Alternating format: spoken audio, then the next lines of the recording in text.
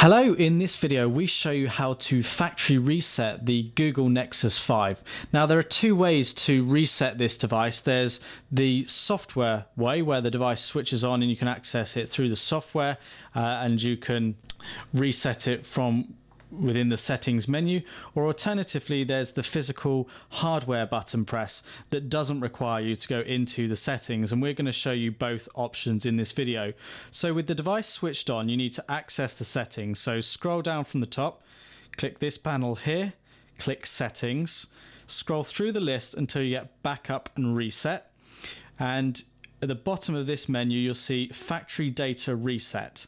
Tap on that it will then explain exactly what will happen here. It will restore all of the internal storage back to the factory default settings and wipe anything that we have on here.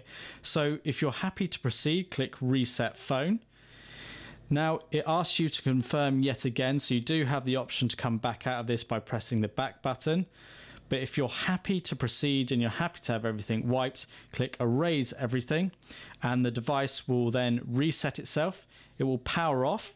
It will take a few seconds to uh, boot back up and you'll then have to go through the same boot up procedure as you did first time uh, with the Nexus 5. Okay, so to perform the factory reset using the physical buttons on the Google Nexus 5, you need to press and hold on the power key when the Google logo appears, press and hold on the volume down key as well as the power key.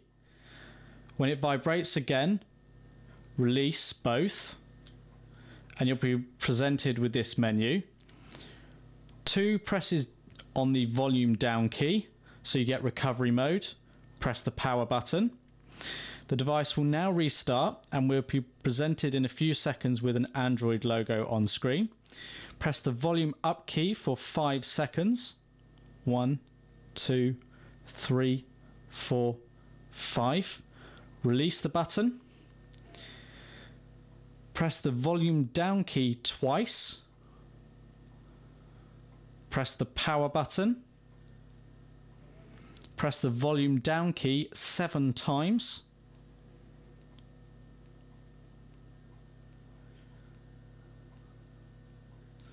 Press the power button and the device will now format itself, wiping the data that is stored on the device, resetting it back to factory default settings. Once that has been completed, you'll be taken back to a small menu and the first option that will already be selected for you will be reboot the device. When that menu appears, you press the power button once. The device will then reboot yet again. So we can see the screen here. So we've got reboot system now. We press the power button once. The device will now reboot.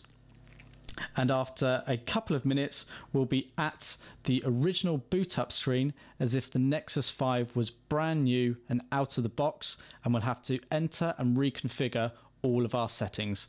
And that's how you factory reset a Google Nexus 5.